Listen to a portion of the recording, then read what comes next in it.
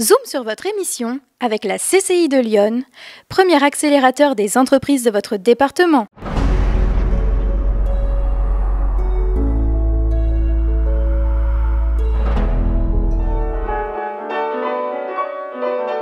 La musique permet d'oublier tous ses soucis, d'être immergé dans un univers et de se forger une passion.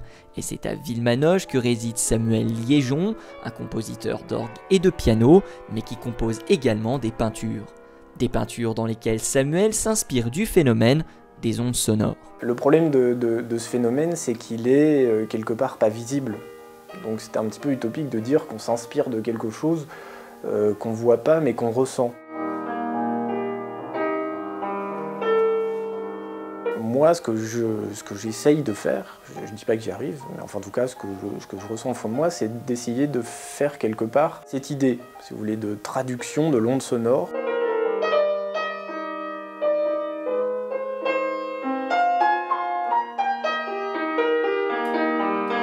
Si ses créations sont d'un ton original et atypique, il en est aussi de même pour sa musique.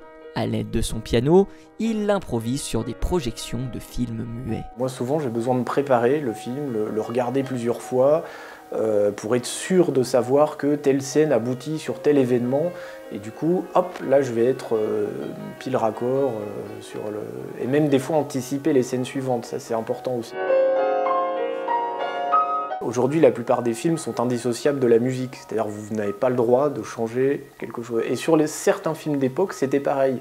C'est-à-dire que notamment les films de Chaplin, on n'a pas le droit de les faire aujourd'hui euh, avec une nouvelle musique, puisque Chaplin avait protégé ses films.